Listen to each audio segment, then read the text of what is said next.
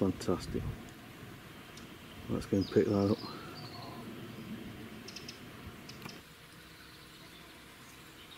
Oh my. This looks like the count right hand side antler I think.